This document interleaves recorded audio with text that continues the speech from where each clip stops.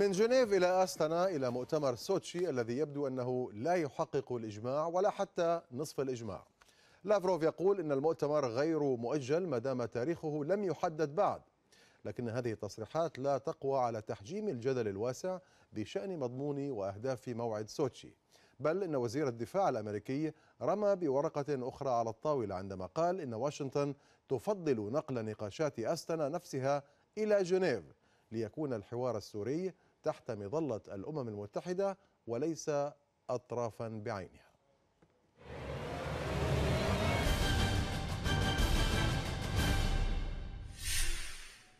يبدو أن مؤتمر الحوار الوطني في سوتشي والذي تسوق له روسيا يواجه ولادة عسيرة. فمكان عقد المؤتمر محل اعتراضات من قبل المعارضة السورية الخارجية وفي مقدمتها الهيئة العليا للمفاوضات. الحكومة السورية هي الأخرى لم يرق لها إقامة المؤتمر في سوتشي إذ أن نظام الأسد يريد للمؤتمر أن يعقد في عرينه وتحت رعايته كي لا يتعرض لضغوط دولية وروسية تضطره لتقديم تنازلات. الاعتراض ليس على مكان عقد المؤتمر وحسب بل هناك من يتساءل بشأن موقع هذا المؤتمر من الإعراب في ظل وجود مؤتمر جنيف. علاوة على ذلك فإن المبادئ الأساسية لرعاية مؤتمرات السلام توجب على الدولة المضيفة والراعية أن تكون محايدة وليست طرفا في الصراع وهذا ما لا ينطبق على روسيا. موسكو كانت داخل معادلة الصراع وهي من دكت معاقل المعارضة بطائراتها ومستشاروها جزء من العملية العسكرية في سوريا. ويبدو أن روسيا بنقلها طاولة المحادثات إلى ملعبها تريد أن تفرض حلولا تتناسب مع مصالحها على بقية اللاعبين الإقليميين والمحليين. لكن المعارضة السورية صرحت بأنها لن تقبل بإعادة تأهيل نظام الأسد واختصار أزمة عمرها سبع سنوات بإصلاح دستوري وانتخابات نيابية ورئاسية. وفي الوقت الذي تسعى فيه روسيا لسحب البساط من مؤتمر جنيف تحاول الولايات المتحدة أن تفرض رعاية أممية على المفاوضات الدبلوماسية. وقد صرح وزير الدفاع الأمريكي جيمس ماتيس أن هناك حوارا أمريكيا مع الأمم المتحدة لنقل محادثات أستانا إلى جنيف لتفعيل دور الهيئة الدولية. في ظل هذه الأجواء يلف مستقبل مؤتمر الحوار الوطني ضبابية دفعت موسكو لأن تصرح أنه لم يتم بعد تحديد توقيت لعقد المؤتمر. كما أقدمت موسكو على سحب الدعوات لمؤتمر سوتشي والتي وجهت للدول المشاركة من موقع وزارة الخارجية الروسية. لكن الاعتراضات الكثيرة وعلامات الاستفهام بشأن المؤتمر لم تثني موسكو عن الإصرار على عقده وجعله أساساً للحل السياسي في سوريا. معنا الآن من إسطنبول عضو الهيئة السياسية في الائتلاف الوطني السوري ياسر الفرحان. أستاذ ياسر مساء الخير. مرحبا بك معنا في غرفة الأخبار. يبدو أن مؤتمر سوشي كما ورد في التقرير يواجه انطلاقة آه، صعبة. هل نحن أمام تأجيل أو ربما إلغاء هذه المنصة كما آه، يقترح ويأمل البعض؟ مساء الخير أستاذ مهند. تحياتي لك وللسادة المشاهدين. حقيقة مؤتمر سوتشي حتى لو انعقد فلن يكون ذو قيمة لأن المعارضة الحقيقية وقوى الثورة الحقيقية رفضت المشاركة به. وبالتالي سيبدو كأن النظام يحاور نفسه. سيحضر أطراف قريبة من النظام أو أطراف يعني من الثورة وإن كانت من الثورة ربما لكنها مرفوضة من قوى الثورة من الشعب السوري. وبالتالي يعني لن يكن لهذا المؤتمر أي وزن ومخرجاته لن تكون قابلة للتطبيق.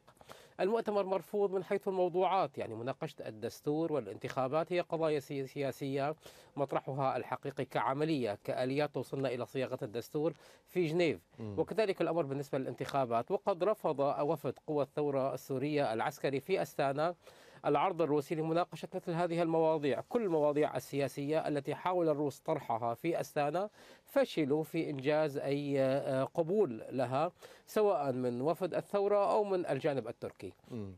الأمر الآخر بأن روسيا ليست طرفا محايدا كي ترعى مثل هذا الحوار. روسيا ما تزال منحازة للنظام ما تزال شريكة مع النظام بكل هذه الارتكابات بكل هذه الانتهاكات. وأيضا في نعم ولكن نحن نعلم نعلم تماما أستاذ ياسر أن سوريا منحازة لمخالفة الإجماع الدولي. ولكنها راعي أساسي لمؤتمر أستنا وفصائل المعارضة حضرت مؤتمر أستنا. ما المانع أن تحضر الفصائل السياسية هذا المؤتمر؟ يعني كون روسيا طرف منحاز للنظام لم يمنع المعارضة من المشاركة في فعاليات سابقة. سؤال بمحله أستاذ مهند. يعني وأنا أخبرك بأننا حينما يعني فاوضنا الروس أخبرناهم في بداية الجلسات بأنهم طرف ضامن للنظام وليسوا طرفا وسيطا أو راعيا، نحن لم نقبل بهم طرفا راعيا وأخبرناهم ذلك لأنهم لم يبدوا حيادية كافية ليقوموا بهذا الدور، وبالتالي هم يشتركون مع النظام ويضمنون تصرفات النظام. وهذا الموضوع سجلناه في جلساتنا وطلبنا من الوفد الروسي وكان حاضر رئيس الوفد بالذات أن يسجل هذه العبارة في بداية الجلسة. وبالتالي يعني نحن أيضا في أستانا لم نقبل مناقشة أي قضية سياسية مع الروس. ذهبنا إلى الروس لنناقش فقط القضايا العسكرية والإنسانية. من أجل وقف إطلاق النار حقنا للدم السوري وحماية للمدنيين وتهيئة لظروف الانتقال السياسي في جنيف. كذلك الأمر الجانب الإنساني الذي دفعنا يعني هو مسألة المعتقلين. لنبحث بعض القضايا الإضافية لأنها تهم كل أسرة سورية موجودة في كل منطقة. م. وبالتالي يعني ما دفعنا أيضا للتفاوض مع الروس وللقبول بالروس في أستانا هو العزوف الدولي المجتمع الذي يعني يزعم صداقة الشعب السوري لم يفعل شيئا في جنيف. جنيف كما نعلم خلال الفترة الماضية ثمانية جولات لم تنجز شيئا. سيد ديمستورا ما يزال يبحث في إطار العملية التفاوضية ولم يدخل في صلبها من حيث الموضوعات. سواء من حيث المحاور أو السلال المطروحة للتفاوض أو من حيث الأطراف التي تقوم بالتفاوض المنصات مثلا والسلات وأيضا من حيث الآليات. لم يدخل في صلب الموضوع حقيقة. والآن حينما يعني يعلن عن جولة جديدة يعني يشار بأن موضوعاتها الأساسية ستكون الدستور والانتخابات. وهذه أيضا نظرية روسية. نحن. بالنسبة إلينا صلب المفاوضات هو الانتقال السياسي. يعني بيان جنيف والقرار 2254 في مادته الأولى وأيضا في مادته الرابعة التي يطرحها هذه مستورة بدايتها تقول يعني حكم ذو مصداقية م. وبالتالي يعني يعني ما, ما آآ آآ العجز في تحقيق أي نتائج في جنيف هو من فتح الفرصة للروس ليطرحوا مسارات أخرى في أستانا وهو أيضا من جعلنا نذهب إلى أستانا حقنا للدم السوري لعدم وجود أي قوة توقف جرائم النظام. لكن أؤكد لك أستاذ مهند بأن الروس أيضا فشلوا في أستانا بتحقيق يعني مخططاتهم وأهدافهم ولذلك طرحوا الآن سوتشي. طيب عندما يقول السيد لافروف بأنه آه، المبعوث الخاص ستيفان ديمستورا لا يزال على اتصال وثيق معنا وهو مطلع على سير العمل الجاري من أجل تحضير الفعالية ويقصد هنا فعالية سوتشي. إذا السيد ديمستورا يعني متابع مع الروس وبينسق معهم ووافق على عقد مثل هذا آه، اللقاء. هذا الشخص هو يعني راعي مظلة جنيف. إذا كان هذا الشخص وافق على مسألة سوتشي فما الذي يمنع آه، أطراف المعارضة من المشاركة فيها؟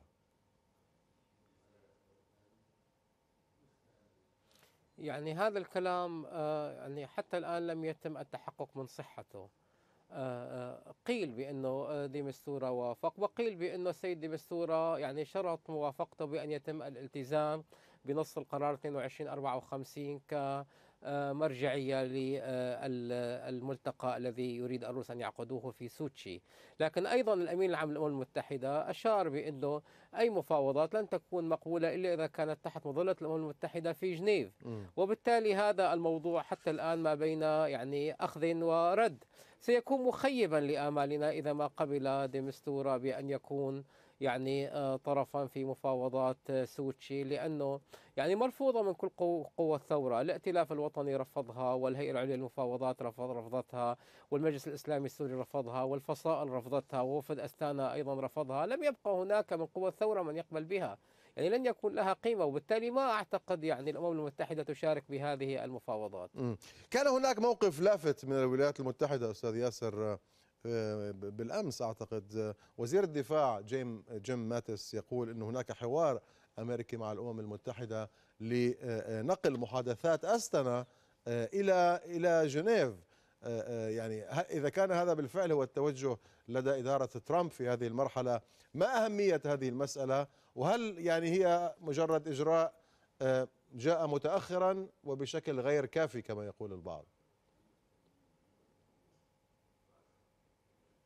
يعني أنا يعني آه، أقول ليته يفعل ذلك يعني الوزير الأمريكي لأنه من دفعنا نحن وتركيا لنذهب إلى أستانا ونفاوض الروس هو العزوف الأمريكي عن الملف السوري. آه، آه، نحن نعلم تماما أبان إدارة الرئيس أوباما من سلم الملف السوري لروسيا هو أمريكا. ونعلم تماما بأن من أجلس إيران على الطاولة في فيينا هي أمريكا. الوزير جون كيري هو من دعا إيران لمؤتمر فيينا الأول والثاني. وبالتالي يعني الإدارة اللاحقة إدارة ترامب أعلنت عن آه، ضمن خطتها عن تقليص وتحجيم النفوذ الإيراني في سوريا. ولم تقل إنهاء الدور الإيراني في سوريا. حتى هذا التقليص حتى الآن لم نلمس منه شيئا. وبالتالي إذا ما أرادت أمريكا أن تقوم بواجباتها و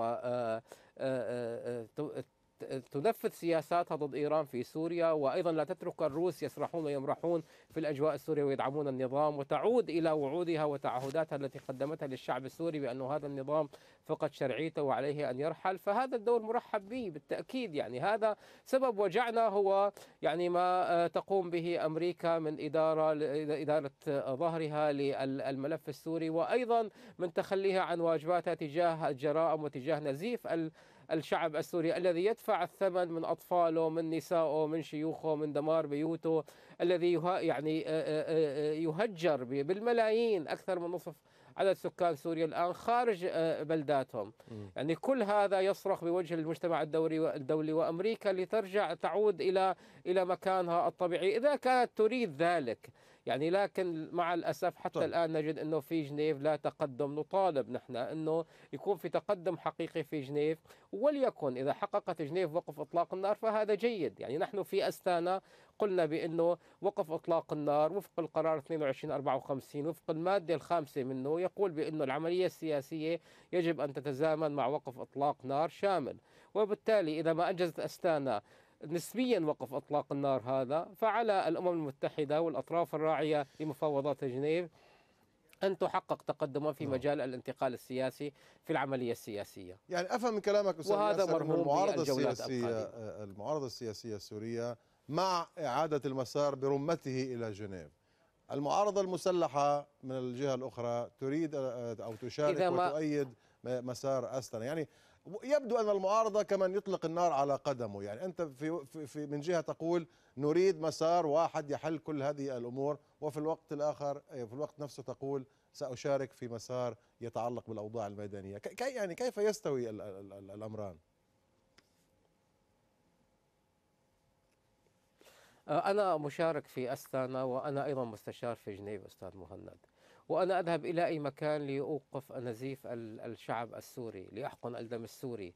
يعني إذا ما استطعنا إنقاذ طفل سوري واحد يتهدم بيته على يعني أسرته على كل أفراد الأسرة يعني فهذا جيد سواء كان في أستانا أو كان في جنيف. إحنا طبعا بالنسبة لنا نفضل مرجعية الأمم المتحدة لكن إذا الأمم المتحدة لا تفعل شيئا لأجل ذا فهل نترك الشعب السوري يعذب؟ نحن ذهبنا إلى أستانا فقط لأجل جانب واحد هو إنساني مستعجل طارئ لا يتحمل التأجيل. يعني الجرائم التي ترتكب بحق الشعب السوري نحتاج إلى أن نوقفها بأي شكل بأي طريقة. ومن ثم يعني المسارات الأخرى السياسية التي حاول الروس أن يطرحوها في أستانا رفضناها وأحلناها إلى جنيف. في أول جولة في أستانا وضع الروس مشروع الدستور على الطاولة وقلنا لهم هذا ليس أوانه وليس مكانه وليس نحن من نبحث شأنه. من يبحث ملف الدستور هو الشعب أعتقد فقدنا الاتصال مع الأستاذ ياسر الفرحان عضو الهيئة السياسية في الائتلاف الوطني السوري كان معنا من إسطنبول. شكرا له على أي حال